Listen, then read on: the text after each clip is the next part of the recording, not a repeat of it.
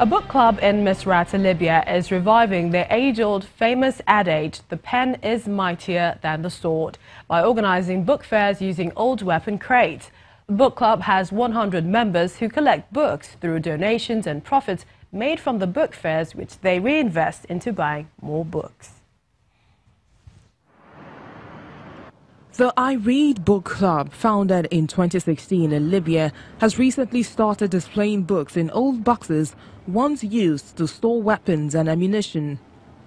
According to the founder of the book club, the idea behind the use of these boxes is that it serves as a symbolic expression of the years of violence that should have been replaced with more beneficial habits of reading. The I Read Book Club is a club dedicated to reading books for people of all ages.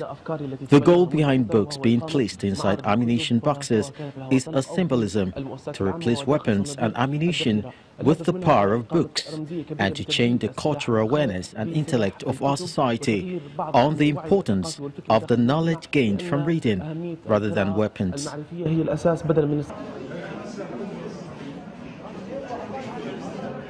Libya has been unstable since the 2011 uprising that toppled longtime leader Muammar Gaddafi.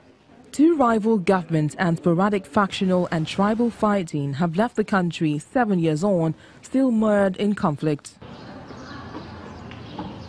The internationally recognized government of National Accord in Tripoli is still unable to unite all factions together, and gun battles in the country's main cities can go on for days, sometimes even weeks.